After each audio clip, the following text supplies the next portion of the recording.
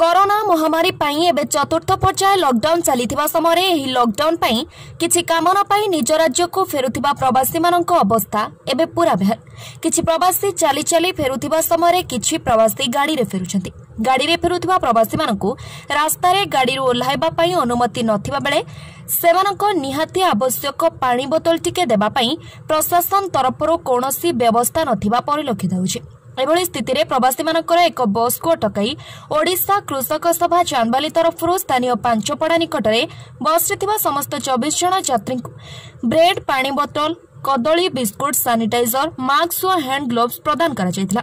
ଏହି କାର୍ଯ୍ୟକ୍ରମରେ ଓଡ଼ିଶା କୃଷକ ସଭା ଭଦ୍ରକର ଜିଲ୍ଲା ଯୁଗ୍ମ ସମ୍ପାଦକ ବିକାଶ ନାଥଙ୍କ ସହ ଅନ୍ୟ ସଭ୍ୟମାନେ ଯୋଗ ଦେଇଥିଲେ ଏବଂ ଚାନ୍ଦବାଲି ତହସିଲଦାରଙ୍କ ତତ୍ତ୍ୱାବଧାନରେ ପ୍ରବାସୀ ଓଡ଼ିଆମାନଙ୍କୁ ସହାୟତା କରିଥିଲେ। ଏହି ମହତ୍ କାର୍ଯ୍ୟ ପାଇଁ ସ୍ଥାନୀୟ ଅଞ୍ଚଳବାସୀ ଯୁବକମାନଙ୍କୁ ପ୍ରଶଂସା କରିଥିଲେ। ଚାନ୍ଦବାଲିରୁ ଦେବକାନ୍ତ ମହାନ୍ତିଙ୍କ ରିପୋର୍ଟ ଅଭୟ ନ୍ୟୁଜ୍।